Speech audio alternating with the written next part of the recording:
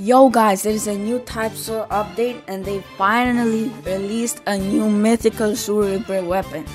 We're going to be spinning for it today. See, if I don't get it, I'm actually gonna quit the game. I'm actually gonna quit the game. Alright, let's time lapse this.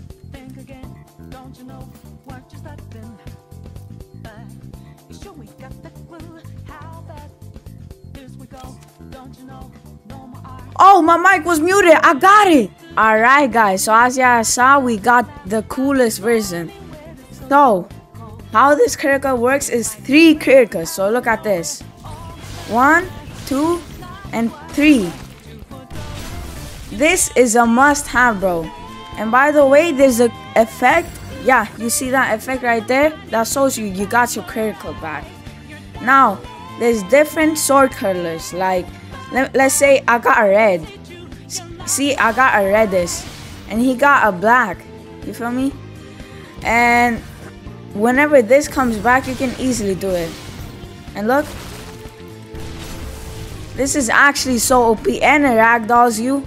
This, this is a must-have, bro. The, the, we deserve this weapon. After all the weapons Quincy's and Arrancar's got, we deserve this. And let me let, let's see the M1s. The M1s right now are weird because like the M1s aren't done, you feel me? But this sword is like pretty neat. And I got I think I got the coolest version too. Like look at this. I I went ahead and get my Bankai bar so I can show ya this weapon in Bankai form. So let's go. Oh, cooler animation. Alright, this is the model. Alright, as you can see. Now let's see the crit. Yo! Wait, wait, let's see that again. Let's see that again.